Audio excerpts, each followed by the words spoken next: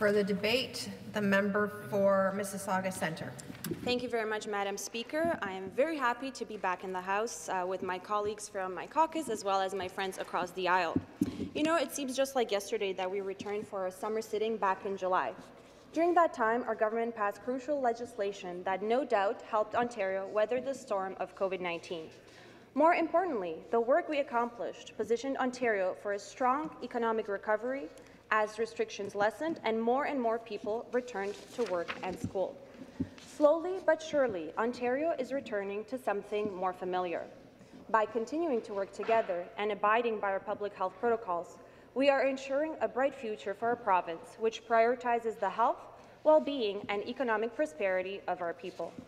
I am very excited to be back today and to share stories from our ridings with colleagues, share best practices, and practice that much-needed peer-to-peer socialization. I missed you guys. Today has a very back-to-school feeling. Members wearing their crisp new suits and ties, proudly carrying their briefcases, wearing colorful homemade masks, sporting those much-coveted new haircuts, and yes, ladies, it feels good to have that mani and pedi done once again. So before I begin my speech to, uh, to, Government Notice of Motion 87, I would like to share with all of you a story which moved me this morning. Speaker, this morning I heard the owner of Tom's Place, Tom Mihalik, speak on the radio. Tom's Place is a men's custom tailor store located just a stroll away from here in Kensington Market. He was talking about reopening his store and what a positive experience it has been so far for his staff and customers. He also talked about his roots and his beginnings in Canada. Tom's father, William Mihalik, first came to Canada in 1956 after the Hungarian Revolution. Like many immigrants, William had little money, but he did possess a tremendous work ethic. He settled in Kensington Market and opened a store in 1987 selling secondhand clothing. He was joined by his family, including his son Tom, when Tom was age 12. And the rest is history. His story really resonated with me this morning, especially when Tom said that Canada is the best country in the world, full of opportunities and limitless potential. I can help but agree with Tom wholeheartedly. Another thing that Tom said this morning moved me very profoundly as I was driving in. He was talking about having the opportunity to meet with the Right Honourable Jean Chrétien and his wife Aline, who recently passed away. In that context, he said that we have great, passionate, and hardworking and proud politicians in Canada, motivated to make Canada the best country it can possibly be. Regardless if they are conservative, liberal, NDP, Green, they work hard for our country, and we are fortunate to have them and that Canadians owe them a debt of gratitude. Speaker, it is not very often that you hear people publicly praising politicians. I was very moved to hear those kind words, such a profound contrast to what I have sadly become accustomed to hearing. So, dear colleagues, on behalf of Tom, I want to express my deep and profound gratitude to each and every one of you for your hard work, for your tireless efforts in helping your constituents during this pandemic, for the courage of your convictions, and for all the sacrifices you make each and every day to make Ontario a home we can all be proud of. With that, Speaker, I'd like to lead the debate on Government Notice of Motion 87, advancing Bills 131, 154, 180, and 182 to third reading. I am very humbled that my own private member's bill 182 is being advanced, and I have to say that I find myself in great company with the members from Mississauga East Cooksville, Parkdale High Park, and York South-Weston. Madame la Présidente, je prends la parole. Madam Speaker, I'm taking the floor today to proudly speak of my private member's bill, Bill 182. Bill 182 amends the Franco-Ontarian Emblem Act so that the, the Franco-Ontarian flag becomes an official emblem of Ontario. This flag will therefore be recognized as the emblem of the Francophone community as well as an emblem of the province itself. And, Madam Speaker, as we have heard many times throughout history, symbols count. This act represents the efforts of our government to promote and build better relations with the Franco-Ontarian community. By recognizing this Francophone symbol, we're doing more than simply uh, flying a flag and saying that it has a provincial legitimacy. It illustrates our commitment to recognize the long and rich history of Francophones in our country, which goes back 400 years. It shows uh, the Franco-Ontarians' place in the diverse cultural mosaic of Ontario. But even more importantly, as one of the founding nations of Canada. In my time as member of provincial parliament for Mississauga Centre, I have enjoyed a strong and robust relationship with the Francophone community. Yet this relationship, I feel, has grown stronger and has been even more fulfilling during the pandemic we have all come to find ourselves in. COVID-19 has undoubtedly presented immense challenges to the people of Ontario. Life, as we know, has been turned upside down. It brought forward new challenges and barriers, barriers to vulnerable members of our community. Residents in my riding who are elderly or immunocompromised have had to deal with a new and difficult reality. They had to become exceedingly stringent on their interactions with the outside world. But even with challenge and adversity, Ontario's spirit is a light that shines bright and cannot be dimmed. Many community groups in my riding stepped up to ensure that our most vulnerable, our neighbours, were taken care of and had what they needed to get through this difficult time. It was not only the right thing to do, it was the Canadian thing to do.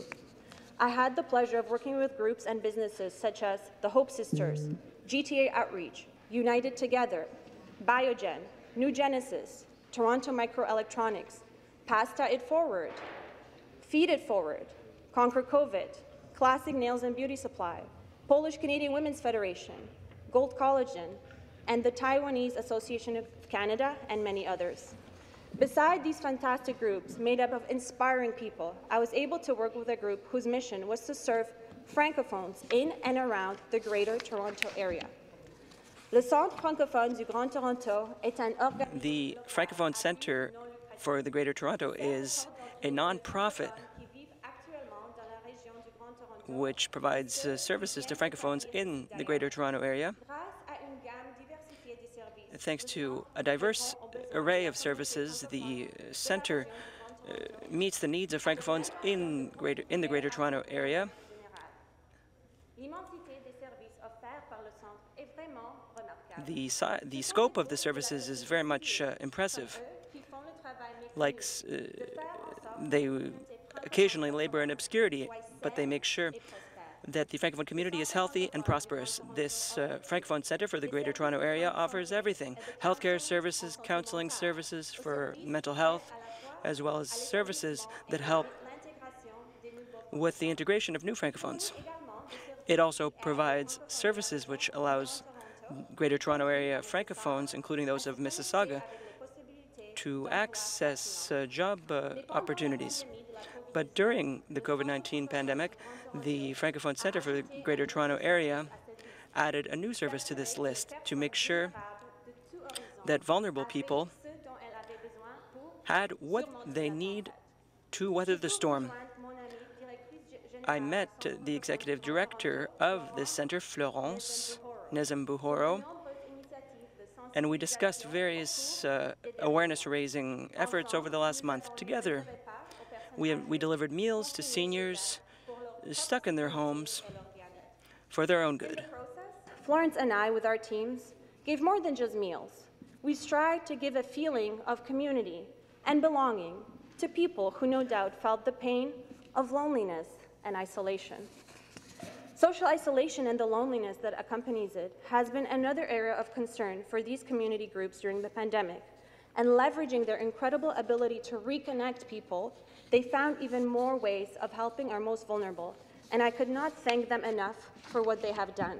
Truly, it is our unsung community heroes and our can do Ontario spirit that will get us to the other side of this pandemic. I had the pleasure of collaborating alongside Florence and the Centre francophone du Grand Toronto with other local francophone groups. For example, the Centre d'accueil Héritage, to ensure local residents had much needed personal protective equipment and essential health supplies. In fact, our work with Centre d'accueil Héritage was done in conjunction with a colleague of mine across the floor, the member from Spadina Fort York.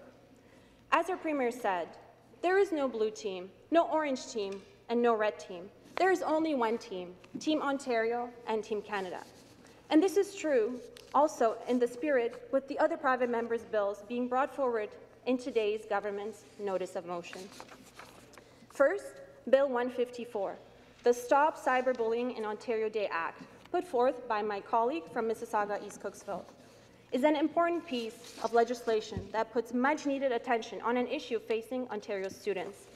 This act marks the third Friday of June in each year as Stop Cyberbullying Day in Ontario. Bullying is a difficult stressor that imposes not only an immense physical health cost on its victims, but also an immense emotional and mental health cost too. As a government that promised from the beginning of its mandate to prioritize the mental health of Ontarians in the same way that we prioritize physical health, cyberbullying is something that must be addressed.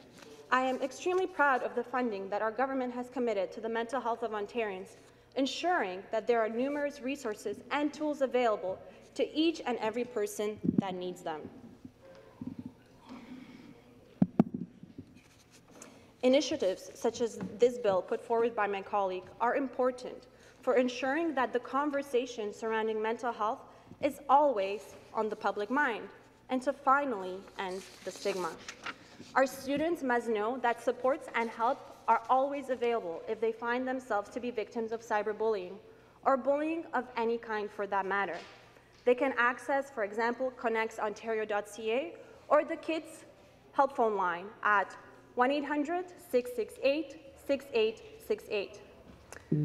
Another bill that is being brought forward today is Bill 180 by my colleague, the member from York South-Weston, marks June 25th to July 1st as Somali Heritage Week, whereby the province of Ontario recognizes the numerous contributions Somali Ontarians have made to our economy, our cultural institutions, and to our society at large. Furthermore, Bill 131 put forward by the member from Parkdale High Park, marks the month of July each year as Tibetan Heritage Month, recognizing the social, political, and economic contributions of the Tibetan community to both Ontario and Canada. I would also like to congratulate the member for being the first Canadian of Tibetan origin to be elected into office. July was chosen due to the significance of this month to the Tibetan community, with July 6th being the birthday of His Holiness the 14th Dalai Lama, Tenzin Gyatso, who is also an honorary Canadian citizen. Both of these aforementioned bills are all quite interconnected in that they all look to strengthen the diverse cultural mosaic that is Ontarian society today. Whether it is the Franco-Ontarian community, the Somali-Ontarian community, or the Tibetan-Ontarian community, each grouping of people holds a unique part in our equitable and diverse cultural landscape. Each grouping of people has had their own countless contributions to make our province the world-class place that it is today, to live, work, worship, and play. Legislation like these two bills are both symbolic and important.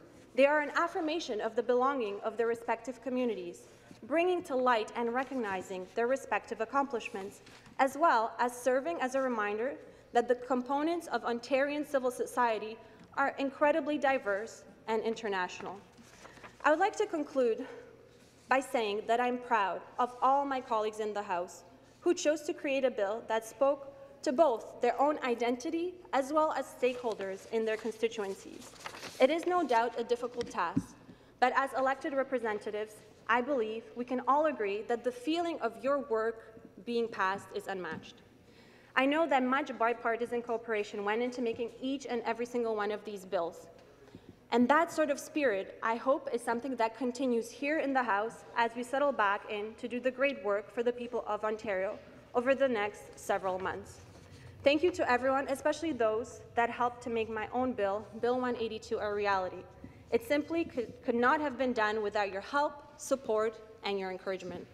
I'm looking forward to being back to represent the residents of Mississauga Centre and help our government steer the province forward as we begin, begin our road to recovery from the COVID-19 pandemic. It's great to be back because we are all better together two years apart. Thank you, Madam Speaker.